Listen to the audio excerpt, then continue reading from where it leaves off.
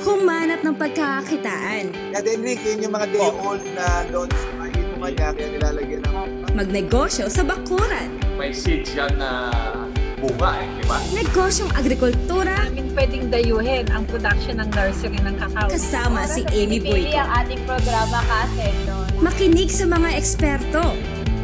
Doktora Corazon Occidental, Engineer Rosendo Sol, at Doc Sosi De Leon. Agree.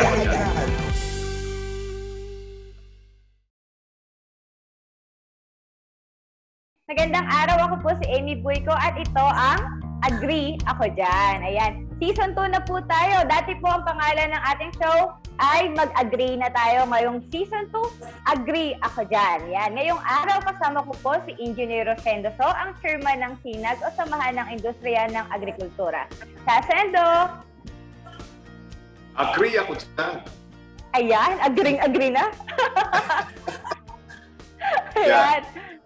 Kasendo, ikaw yung madalas ko nakikita sa TV ngayon, na?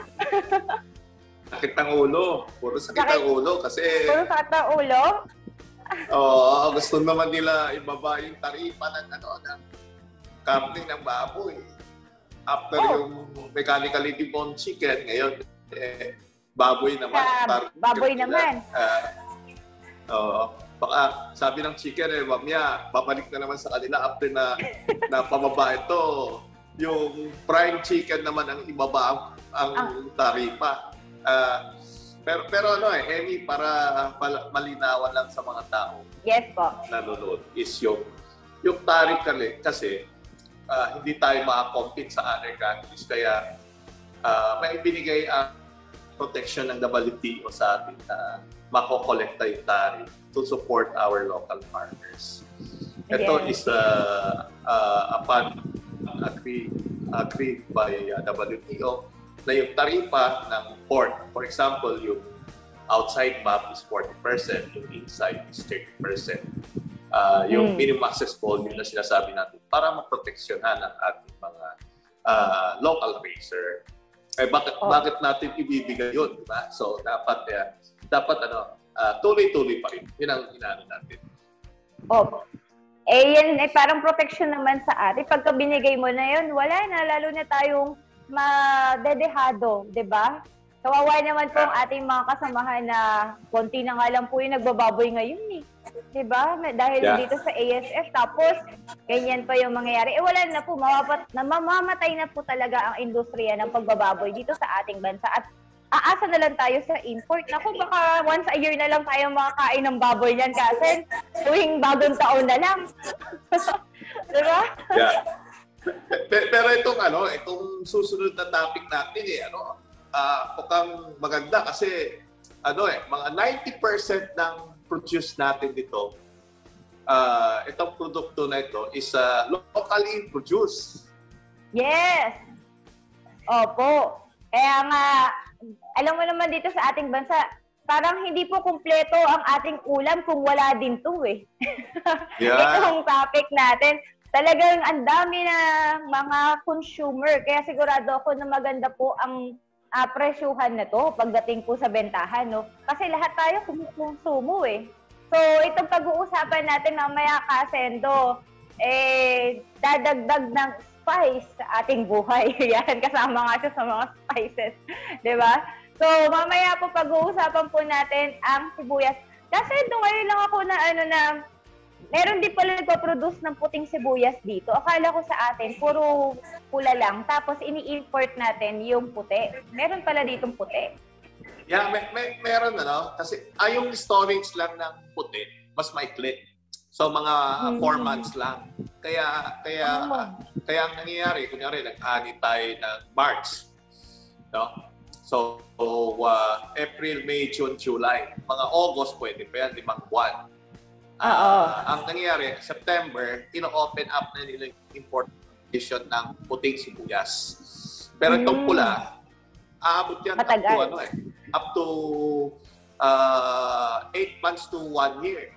So, Mm. yung pula, mas ah, konti yung pinapasok talaga. Pero ang ginagawa ng iba, kunyari, puti ang pinapasok, pero yung pula yung pinapasok Ah! nila. Min- Galon. Ay, parang ma- bad yan. Bad. Mali yan. marami marami kami nahuli gano'n doon sa sa ano, doon sa mga inspection dati, pinakita sa atin. Opo. Ah, ah, maraming gumagawa niya. Yan ay nahaharang sa customs, di ba? Yan, Customs dapat tama, harangin ang daan. custom. Opo, dapat harangan. Eh, kasi do, meron ba tayong exportation ng um, sibuyas? Sa ngayon, ah, hindi pa ano eh kasi kasi ang concentration natin is ah, dito sa local market. Tsaka yung yung grabe kasi ang China, yung presyo nila talagang dapa na dapa, hindi natin kaya yung presyo Ah. nila. So, hindi tayo makakompete. Pero pero kung continuous ko rin production natin and kumanda, ah, lumaki, baka pwedeng mag-export na rin tayo sa in the Mm. future. Opo. Eh, gusto ko yung export natin yung native. yung maliliit Ah, yung na native, sibuyas. oo, yung maliit, no? Oo. Yan, yun ang malasa talaga eh. Yun ang masarap na ano. Pero kasi, kasi di ba may mga dumaang bagyo, yan. Ito ano lang naman, curious lang po. Kasama din po ba sa protection sa ating mga crops pagka mga Crop, bagyo? crop insurance. Crop insurance. Insurance, yes, yes, insurance. Yeah. O, kasama ba ang Ah. sibuyas? Sa amin kasi lagi binabagyo.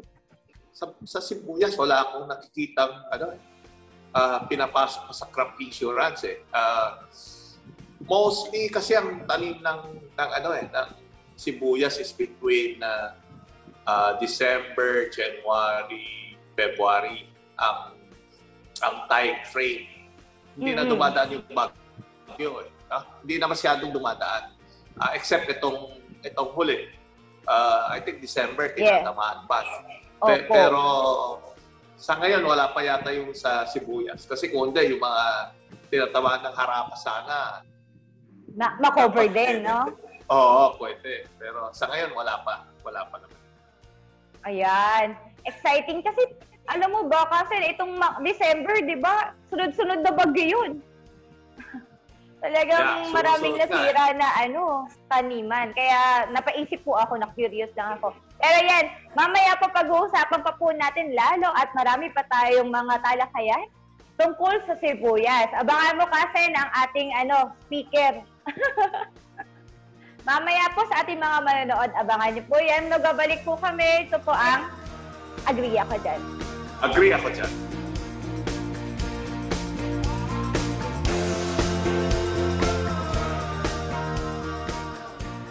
Nagbabalik po tayo sa Agree Ako Dyan. Kasendo, may papakilala ko sa'yo. Ito ay taga Pangasinan din. At siya po ay um, nagtatanim na ng sibuyas noong 2016 hanggang sa ngayon po nagtatanim siya. Meron din siyang mais sa kapalay. So mamaya po pag-usapan natin paano yung transition, mais, palay, tapos onion. Ang mga kasama po natin ay 50 years old. Siya po ay si Sir Pedro Collado Jr. Sir Pedro, hello po.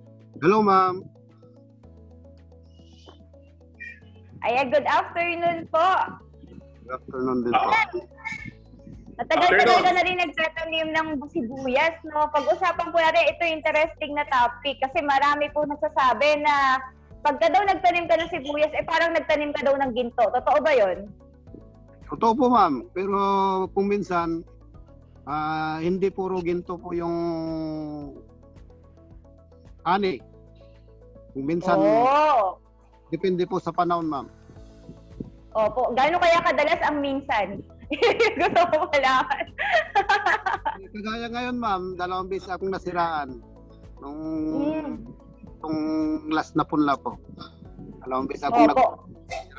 Tapos ito ngayon po, pangatlong try ko po. Uh, kwan, sawa ng Diyos, okay naman yung sibuyas ko ngayon. May bulb na. Sir, magkano presyo ng sibuyas ngayon? Ang nagkaroon ko dito ngayon, ma'am, is 60 to 50. Opo. Oh, magandang presyo na po ba yon? Eh, tama lang yung ma'am, pero mas maganda pa sana kung mas matas ng konti dahil sa dami nga ng kwan, mga nasira, kagaya ko, nasira na ako ng... Kasi ako, ma'am, sa totoo lang, nasira na ako ng ah, more or less 500k nung dalawang beses akong nagbabla. Opo. Oh. Kani ko po itong pangatlong try ko, sana mas mataas yung price para medyo magkabawi-bawi naman po. Opo. Ayan. Sige, simulan po natin ang kwentuhan tungkol sa sibuyas. Tay, paano po ba magtanim ng sibuyas? Pag-usapan po natin yan. Eh, ang pinag ang kwan ko po ng pagtatanim po ng sibuyas is transplant po. Depende po sa farmers kung ano yung nakasanayan nila o direct o kaya ah, transplanted. Eh, nasubukan din po namin magtanim po ng dry na transplanted na sibuyas. Pero hindi namin po naulit yun dahil maraming namamatay dahil tiga, parang tigang yung kwan, yung lupa, patutuyo yung punla, mamamatay. Yung kwan namin ngayon po, yung parang nagtatanim ka ng palay yung may tubig na. Para diretso na yung kwan niya. Yung hindi na masasaktan. Sabay tubig na pag nagtanim kami dito po ng transplant. Na-curious po ako dun sa dry. Ano po ulit yung ibig sabihin ng dry transplant? Ano po yun? Kwan ma'am, flat din siya. Tapos yung parang may panusok sila tapos sinasabay yung tatanim na sibuyas. Yung parang inuukit yung kwan. Inu ah, Oo. tapos nahu- nahuhuli kasi yung tubig kaya medyo nahirapan yung sibuyas na ah, mag-recover. Kaya maraming namamatay, maraming nalalanta. Pero para sa akin po, mas maganda po yung sabay tubig na. Opo. Parang nagtatanim ka ng palay. Parang mas malambot na yung lupa. Mas Opo, malalim na rin yung nagtataniman. Oo. Mas mabilis pa ma'am. Mga ilang linggo po yung seed, yung tinetransplant natin na seedlings. Ah, 45 days ma'am. Ah, sobra isang buwan. Tama po ba? Opo, opo ma'am. Kayo na rin nagtatanim nun o binibili nyo na po siya na, na ready for ano transplant? Hindi, kami po mismo ang nagta- nagpupunla ma'am. Sarili naming punla yun ma'am, hindi sa nalit sa lakas. Hindi kami nagpapatanim sa iba. Ano po ba yung mga ano requirements, halimbawa in terms sa lupa? Ano-ano yung mga pwedeng tamnan saka hindi pwedeng tamnan ng sibuyas? Yung experience ko ma'am, mas magandang tamnan huwag na lupa. Ah, Buhaghag na lupa. dahil nahihirapan po yung mag, mag, mag-form na yung bulb ng sibuyas, parang mahirapan niyang i, i, ibukaba yung pan, ibitak yung lupa. Mahirapan yung bulb. Dapat manong uh, sa dilog, no? Yung medyo parang paano yung lupa, ah, hindi sticky. Opo, sir. Doon doon sa area niyo wala naman tinamaan ng yung ano, yung ah, etong harabas, ah, yung last uh, natanim niyo ng sibuyas. Yung sa akin, sir, wala naman po. Pero yung mga iba po dito sa amin, mayroon naman po. Yeah, oo, nabalita ko yung malapit lang sa iyo, yung Bayakbang, tinamaan sila, no? Ah, Oo. buti na lang hindi na ano diyan sa area niyo. Yun nga sir dahil pan kasi kami sir bago ah, kung kami na po ay magtatanim na ready to transplant na po yung punla. Kami po yung naglalagay ng uh, pheromone. Pan ba yung pangkuha ng ah, paru-parong lalaki. Yung malabas paru-paro. Ito is ah, para resistance doon sa doon sa harabas, gano'n? Hindi sir, ito po ay ito po ay parang malit lang na butil na binibigay ng namin na nilalagay namin sa galon. Tapos ah, may butas siya sa dalawang tagiliran yung galon. Yung 4 liters o 5 liters.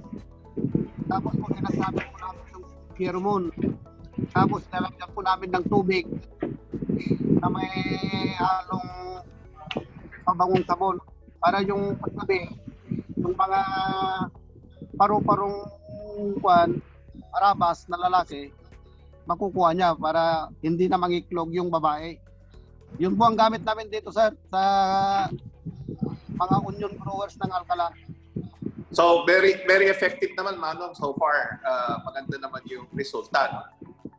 Opo sir dahil ah, magmulan po sa 2016 eh gumagamit na po kami ng ganon. Mm.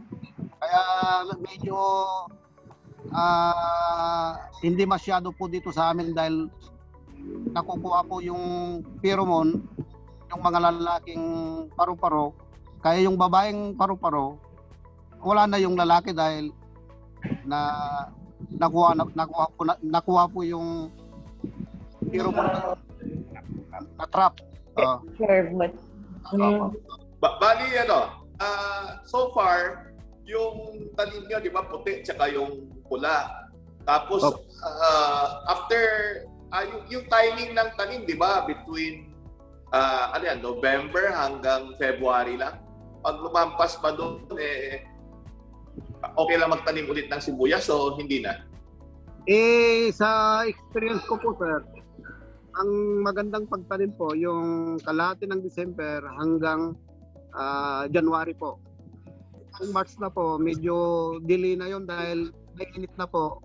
Ah, medyo ah, baka marami na pong kwan dahil hindi, hindi pa po namin nasubukan, baka marami na pong mga kalaban na insekto sa sobrang init. Yan po ba yung kailangan ng sibuyas? Malamig? Hindi po ba dry ano ah, season dapat? Ang kwan ma'am, ang sibuyas po, ah, 'di ba may kwan naman po eh, 'di ba pag nag natutunaw na yung yellow diyan sa north sa China, 'di ba malamig po yung simoy. Oo. Basta wag lang kung kwan mahamog at saka umaambon. Okay lang sa sibuyas yung lamig. Basta wag wala, wala lang ulan. Sir Pedro, anong variety po ng sibuyas ang ating tinatanim? Yung tinanim ko ma'am is ah, ah, Red Pinoy at saka Red Dragon po. Saka Taki, yung puti. Red Pinoy, tapos Red Dragon. Eh, an- hindi ko po alam yung tawag ko. Pero yung maliliit na sibuyas, ano po yun? Yun po ba yung Red Pinoy o yung Red Dragon? Yung sabi nilang, ano ba yun? Ah, Ah, yung, parang... yung size po. Ba, sinasabi mo, labuyog. Hindi, hindi siya no. yung...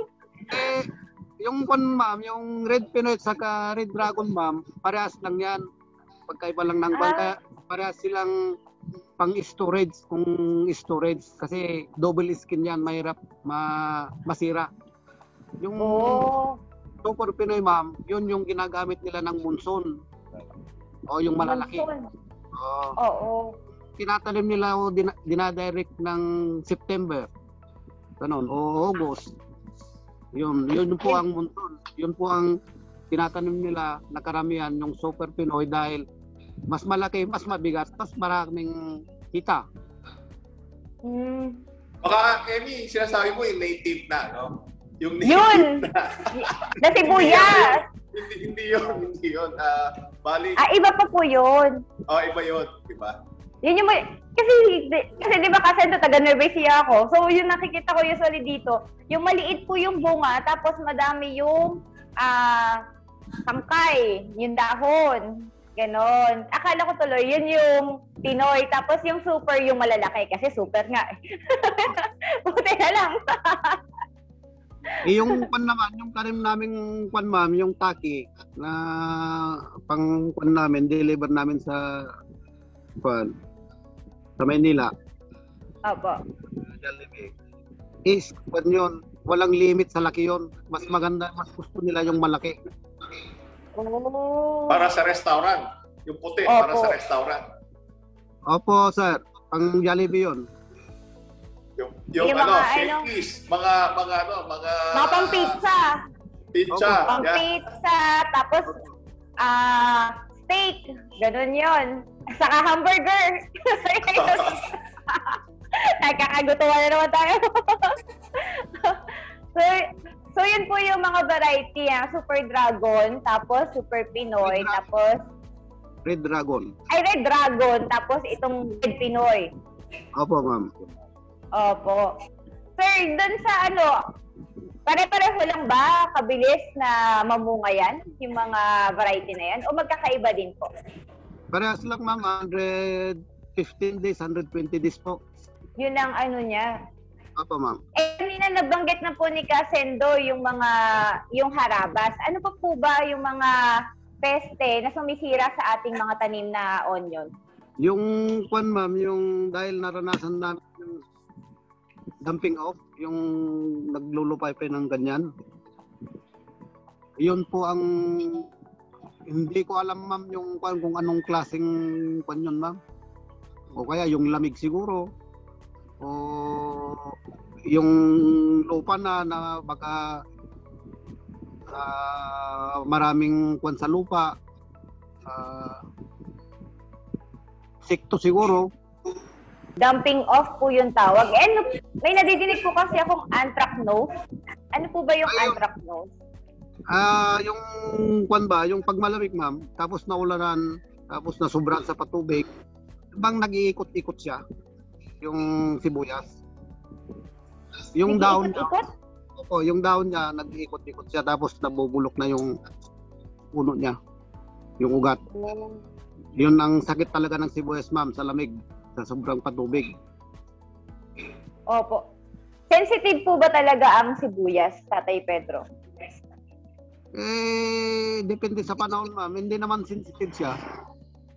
Kaya lang, Hmm. kung alagaan mo talaga, tutukan mo, kung araw-araw kang nandun, siyempre, na kikita mo kung ano yung pagbabago ng sibuyas mo sa araw-araw na pagpunta mo sa bukid. Opo. Kasi naalala ko yung sabi nilang balat sibuyas. Ibig sabihin, sensitive. Ang pag sibuyas kasi ma'am, parang nag-opisina ka din.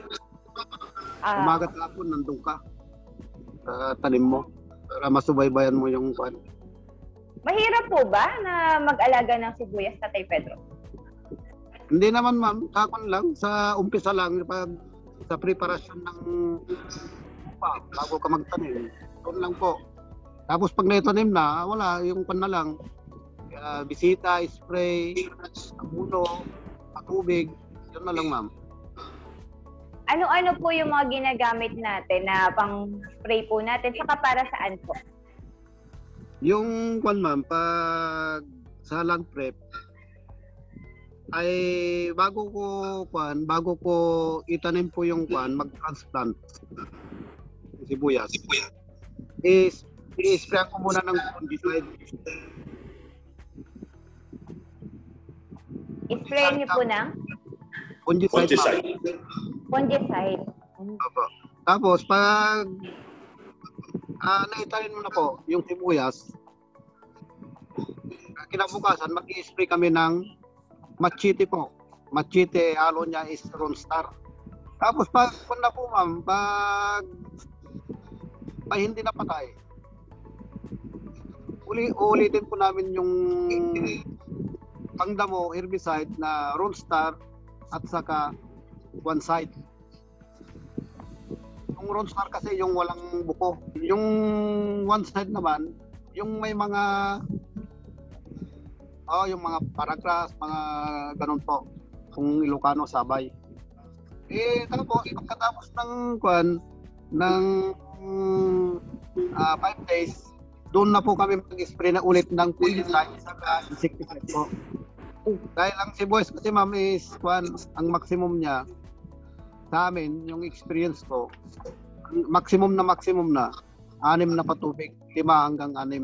Yung maximum na yon. Opo. Bago mag-harvest. Opo ma'am. Mm. Pero ang sinabi ko lang na anim, pero depende po yung panahon po. Kung talagang mainit na mainit, abutin ng anim hanggang harvest na yon.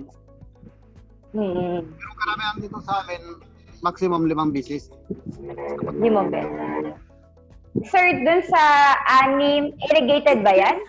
Irrigated po ba ang inyong lu- ano, Hindi po. taniman? Ah, water pump lang po sa ilalim. Ah, water. Kaya mahirap dito sa amin da, puro puro gastos. Ah, basta Oo nagpanda. nga. Kasi water pump. Maganda sana kung irrigated na po, di ba? Pagka, ano, at Oo. least makatipid-tipid.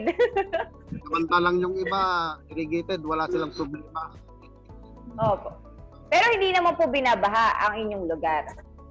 Hindi naman po. Ito yung label ng lupa, ma'am.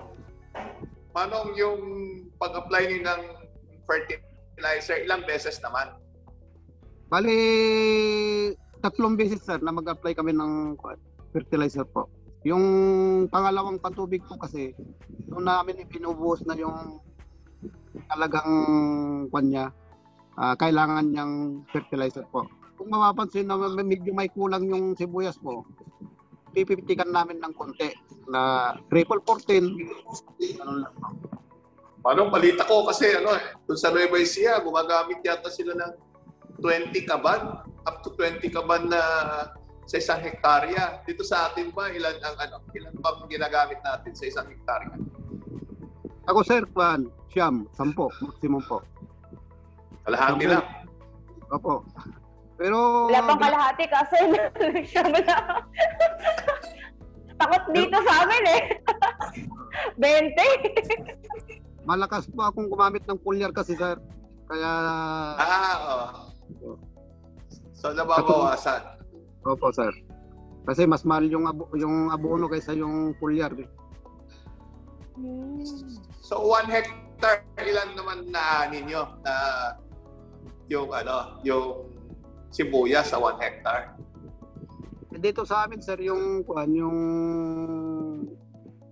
puti namin yung 1 hectares umaabot ng 20 to 25 tons. Ay yung pula sir, ah, mga 18 ganun, 18 tons. Kung maganda po, Mostly yung ano, no, yung ini-storage, di ba, dapat yung taas niya naka-close, di ba? Hindi pwedeng naka-open. Opo, sir. Ang kwan kasi, ang kaya po ako nagtanim ng kwan, sir, yung limang hektarya ko po, puro red dragon po, puro pang storage po yun. Dahil kung sakaling bumaba ng presyo, papasok po lahat po sa storage. Dahil yung red dragon po, sir, eh, kwan, ah, talagang pang storage siya, tapos yung liig niya, is manipis lang, hindi makapal. Tapos bilog siya. Bilog na bilog. Halos parehas lahat ng size niya. Parang walang reject. Di isang Ah. size. Yung, yung butas kasi importante kasi yung tubig, kung nasa storage, baka papasok yung tubig eh, di ba? Para at least eh, parang nakasara siya, no? Ah, opo sir. Pero ang kwan namin sir, pag naani po, dito, ah, i tawag dito sa amin salandra. Parang hiwalay na ninyo yung ano, yung mga Sorry. hindi pwede pang storage. So, isusort namin sorting. Yeah. Mm-mm. Opo. Eh di, kwan, para matanggal din yung mga dumikit na ah, lupa para matuyuan din yung sibuyas. Tapos ilagay namin sa burike yung pulang sako. Na nakilo-kilo na yon tapos kakamada po namin. Tapos may blower po siya sir. Binoblower po namin. Dulot ah, magkabilaan po na dulo. May butas siya sa gitna. Para yung kanya sir, yung sinasabi po ninyong mapasok ng tubig, bago po namin pasok sa storage sir, eh, kwan, dapat tuyo na yung kanya. Yung pinagkatan ng daon. Mm-mm. Dahil pag pinasok mo sa storage yung sibuyas na hindi pa tuyo yung da, da, yung pinagkatan ng daon, yun, doon doon ang kwan isang ah, isang pagkasira ng sibuyas sa storage na mapasok ng kwan. Opo. Sir, may, may sarili na kayong storage o nakiki-storage pa tayo? Nakiki-storage po. Ako Oh. sarili ko pong reservation pero wala akong storage. Sariling reservation ko po. Ano po ibig sabihin ng sariling reservation? Yung storage kasi ma'am, hindi ka pwedeng kwan. Halimbawa, ako, kung wala akong reservation sa storage, hindi ka nila papapasukin dahil may naka Mm. Naka-reserve na doon na tao. makikisakay ka sa kanila, kausapin mo sila, makikisakay ka kung gusto nila. Eh kung ayaw nila, Ah. wala kang magawa, ibenta mo sa labas. Ganun po. Opo, parang isasabay doon sa iba. Pero sa inyo, kayo na mismo yung nagpapareserve nung ano, ah, sibuyas nyo doon sa loob ng storage. Opo. Opo. Kasi iniisip ko, parang kung marami yung ilalagay doon sa storage, una-unahan talaga yan, di ba po? Hindi ma'am, yung kung talaga, yung naka-reserve talaga na sa storage, yun lang po ang kwan. Hindi yung Well, authorized. hindi yung nag-ani ka, pasok ka sa storage. Hindi pwede yung ganun. Kausapin mo yung kwan dahil hindi ka papayagan ng storage.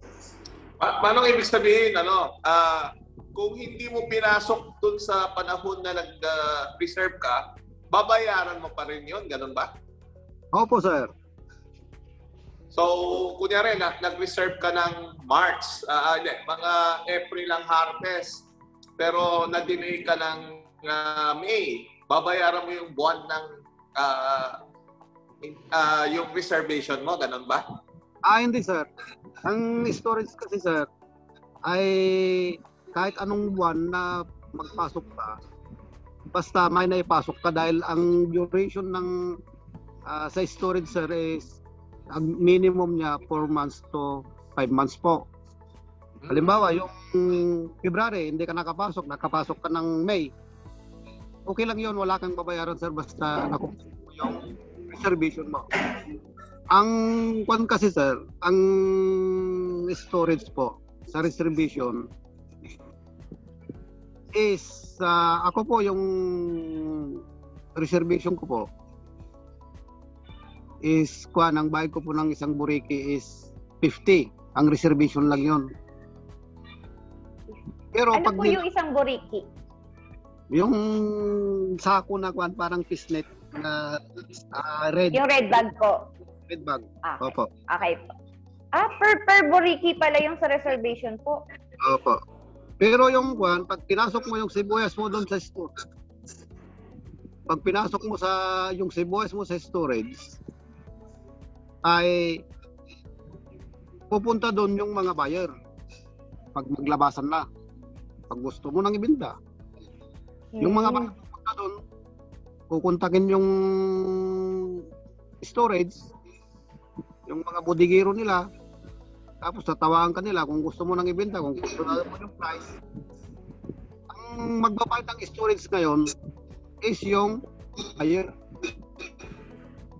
Ganun po. Hmm. Halimbawa, So- isang red bag, oh, tumawag sa'yo yung buyer. Oh, kunin ko ng 1.5, isang red bag. Yung 1.5 na yon, yun na yung net mo. Wala nang bawas. Yung storage, sila na po ang bahalang magbayad. Ganun po. Hmm. Yung mga traders, yung mga buyer. Opo. Ah, Bali, yung po bang ano, may required na bigat po ba or dami para makagawa ka ng reservation? wala ma'am, depende yung kung ilang red bag ang gusto mong ipa-reserve. Tapos yung timbang naman, bahala ka na ma'am kung ang nilagay mo sa isang red bag na kilos is 20, lugi ka. Dahil ang binibilang ng storage, yung red bag. Eh kung yung red bag mo ay malaki, umabot ng 30 kilos ng red bag, Oh. hindi mas maganda. Mas mabigat, mas maganda. Sulit yung 50 pesos mo na doon. Ah, hindi, yung 50 pesos mo, hindi mababawasan po yun. Reservation mo yun. Pag ayaw mo nang mag-storage, ibibigay, ibabalik din na buo yun. Mm, po. 50 pesos. Oh. Yun, yun pala. So, magal, malaking tulong po pala talaga itong ano, no? ah storage. Pero pagka po ba hindi natin nilagay sa storage, halimbawa, ay ito muna, tanong ko, pagka po nilagay natin sa storage, ilang buwan po ang tinatagal ng sibuyas? Hanggang anim na buwan, ma'am. Hanggang November Hanggang- yan. Hanggang December. Oh. Kaya lang yung binigay nilang 4 months to 5 months na storage mo, lumampas ka doon sa kwan na yon, yung isang red bag is magbabayad ka ng 50 pesos per month, isang red bag. Kung abuti mo ng Ah. October, September, December, kung tatlong Mm. buwan na sumubra ka, doon sa binigay nilang buwan na 5 months. Every month, isang red bag, 50 pesos. Oh. Paano naman po kung hindi ko po nilagay sa storage? Ilang buwan po ang tinatagal ng buhay ng sibuyas? Tumatagal po ng 3 months yun, ma'am. Three months. Basta may ventilation, may blower siya. Yung 24 hours na blower, yung parang electric fan, Opo. yun po. Para dry pa rin dun sa loob. Opo. Ayan. Tay, balita ko, ipapasal mo kami doon sa iyong farm. Opo, ma'am. Ayan. Sa ating pagbabalik po, itutour tayo ni Tatay Pedro sa kanyang sibuyasan. Abangan niyo po yan. Magbabalik po kami. Ito po ang Agree Ako Dyan.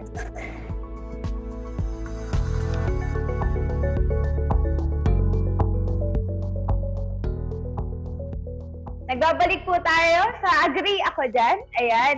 At ito nga po, itutour po tayo ni Tatay Pedro sa kanyang taniman ng sibuyas. Tatay Pedro, Agree tayo dyan. Ito po yung ah, portion ng aking sibuyas na tinamnan po. Tignan po ninyo. Ang ganda po. Walang sakit. Ganda nga eh. Ano ito, puti ba o yung pula? Yung pula po, sir. Ah, ganda. Ayan yung, yan yung Red Dragon. Tama po? Red Dragon. Yung Red Dragon po. Opo. Ang gaganda ng pulas niya. Sa- Sana sa awa ng Diyos, eh, hanggang ano yan, ganyan pa rin siya. Para Ah. makabawi kayo po ng konti. Yung mga gastos. Tatay Pedro, kailan po ba anihan? Ah, sa kwan ma'am, sa third week ng March po. Third week ng March. Yan. Looking forward tayo sa magandang ani. Salamat po ma'am. Ah, Manong Pedro, yung dahon ba niya pwede mong i-cut before harvest o hindi pwede? Pwede po sir. Para di ba hinahalo riyan sa mga ano eh, mga Luto. uh, gulayan, di ba? Ayos kaldo po. Opo. Ay, aros kaldo. Ang sarap yun. Sarap yan po. Dahil yung, Opo. dahil yung kwan po yan, ma'am, ang gamot na gini nalalagay ko po is ah, pwedeng kainin po yung dahon niya po dahil yung exalt kasi ma'am is pan yun, organic. Matapos Organic. pwede siyang kainin po. Yung Opo. dahon. Tay, separate ba ang benta mo ng dahon? O lahat yan napupunta sa storage na agad? Ay, yung dahon, ma'am, is kinakat na yan. Sinatapon na namin. Oh. Dahil, kung na yan, hanggang, hanggang mabali po yung ah, dahon niya, hanggang matuyo po, saka namin po aniin. Para maganda po yung sibuyas, para matigas, para kahit ilang buwan, hindi masisira. Ah, so hindi na po kayo nagbebenta ng dahon. Parang ano lang, personal consumption na lang. Hindi, ma'am. Hindi. Ah. Pangkain na lang. Opo. Tay, paano natin, bawa, di naman natin nabilang kung kailan natin tinanim. Paano natin malalaman kung pwede na natin i-harvest yung sibuyas? Doon ka po magbibilang, ma'am, doon sa ah, pagpunla mo, ma'am, ng buto. Doon ka po magbibilang po ng araw. 120 days hanggang sa punla hanggang anihan na po yun. Pero nakikita naman yun physical pagka pwede nang i-harvest. Halimbawa, yung iba kasi nakikita namumula na pwede nang anihin yan. Ganon. Sibuyas po paano? Yung kwan kasi ma'am, yung aral ko sa aking tanim dahil uh, nag storage pa din yung pansarili ko. Is lumalampas po ako sa 120 days. Para sigurado po na tatagal po yung ah, sibuyas ko sa storage po. Dahil kung yung dahon niya hindi pa nabali, hindi ma, hindi pang matagalan sa storage pang pang kwan lang yun pang market lang Oh. dahil yung iba kasi Pero nag- pinipil ah, Opo. So, nagbebenta din kayo sa market lang o diretso talaga sa storage lahat?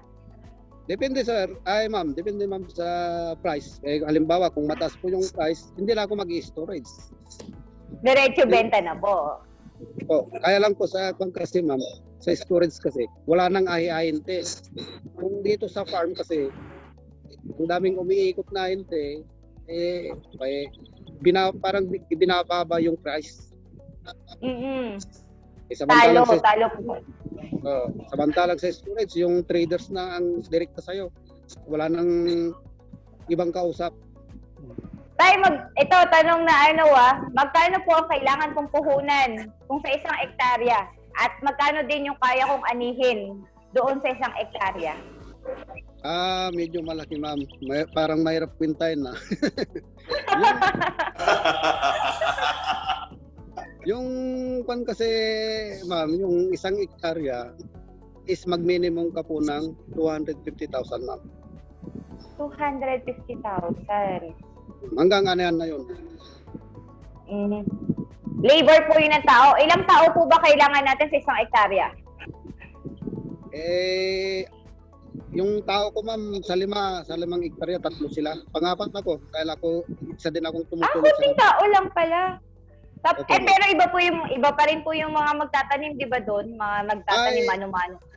Iba ma'am ah, Iba dahil yun. yung magtatanim yung kalating ektarya, yung transplant na kwan namin po dito is 30 na tao, maghapon yon hindi pa nila matapos yung kalating ektarya. May babalikan pa kinabukasan. Kaya sa tanim na lang, malaki na. Yung gastos talaga. Tapos Opo. patubig pa, medyo malaki din. Pero sa isang hektarya naman po, magkano yung pwede nating anihin? Yung isang ektarya, ma'am, is mag kung maganda po yung tanim mo, mag-minimum ka po ng 18 tons. 18 tons, 18 minimum na yun. 18. 18 tons, 18,000 kilos. Minimum mo na yun. Kung maganda yung price, eh, okay, okay. Pwede kang magbakasyon sa gusto mong puntahan. Dito lang sa Pilipinas, ha. But bakit tayo magkano po ba ang ano, halimbawa, magkano ba yung pinaka-normal na presyo? 45 per kilo? Ganun ba? Ah, last year, ma'am, is 43. 43. Kung sa 80 tons, So ano, 18 magkano yun? tons, bali 774,000. oh, di ba? Makakapagbakasyon ka na nga. Yung 200,000 mo eh, may 500,000 ka kasendo. Oo, ma'am, kung talagang sisurting ka, bigyan ka ng magandang anin ng Panginoon natin, is abot pa ng isa yan, 1M. Oo. Kung maganda One. talaga yung tanim mo. Opo. Kaya concept- Emi, sabi nila eh, kung gusto mo maging milyonaryo, magsibuyas ka. Pero kung, kung gusto mo maging pulubi, magsibuyas ka, sabi nila. Ganun po yun, tama po Yun. yun. Yun nga. Marami din po ako nadidinig na, ano sabi nila, eh, pagka nagsibuyas ka, ginto. Pero meron din nga, sabi ni Tatay Pedro, tanso. Kasi talagang malulusaw ang yung puhunan. Pero yun nga, timing talaga ang kailangan mo pagka ano, ah, gusto mo umani ng maganda, yung tamang timing. Saka syempre, dasal din. Kailangan po yun. Dahil, Pedro, sabi mo kanina, dalawang beses ka na rin nalugi dyan sa sipuyas. Bakit nagpapatuloy ka pa rin po ngayon? Eh, sawa naman ng Diyos, ma'am, may konting ipon naman. Dahil pag tinigil mo yan, ma'am, hindi ka na makakabawi. Eh, kung wala ka ng pagkukunan, hindi ka na makakabawi. Eh, kung mayroon pa, sige lang. Halimbawa ngayon, pangatlong try ko ngayon, oh, medyo maganda na. Tanim ko ngayon, eh, mababawi ko yung ah, dalawang bihis na nasira sa akin nung ito. Opo. Sabi nga, laban lang ng kaya- laban. Kaya Emi, yung ano eh, yung importation, dapat ah, tingnan talaga. Pag aani yung mga magsasaka, dapat eh, huwag talagang magpasok. Para at least Opo. eh, masiguradong hindi malugi, no? Hindi malugi yung mga magsasaka. Yes. Opo, Siyempre, sir, meron naman tayo dito eh. yun po ang problema namin magsisibuyas sir. Kung kailan anihan, doon naman sila nag-i-import po ng sibuyas. Eh paano naman kami pong magsasaka? Paano kami makakabawi sa laki ng gastos? Buti sana kung hindi nasiraan yung unang tanim, pangalawang tanim, Yes. o naharabas pa. Paano nang makakabawi ang mga farmers? Dapat sana yung gobyerno hindi muna sila mag i-import, tingnan muna doon sa mga probinsya na nagsisibuyas kung marami pang sibuyas. Ganun sana. Opo. Kung kulang, di doon na lang sana sila mag-import. Tama po, tama po. Eh kasi Ando, bakit parang ganun nga? Kung kailan mataas yung harvest, saka naman nag import parang baliktad talaga. parang maling-mali yun. Yeah, minsan kasi nagtatago eh, yung mga ng ah, SPS. Tinatiming nila kung mag-aani bago pinapasok para sila rin bibili. Ganon ginagawa nila yung mga ibang trader. Dapat dapat hindi ganon. Dapat ah, hindi ganon, no? Kasi may ibang traders, tinatago yung ah, sanitary phytosanitary certificate. Pagka aani na, pinapasok nila para ma-depress yung presyo, tapos bibili naman sila.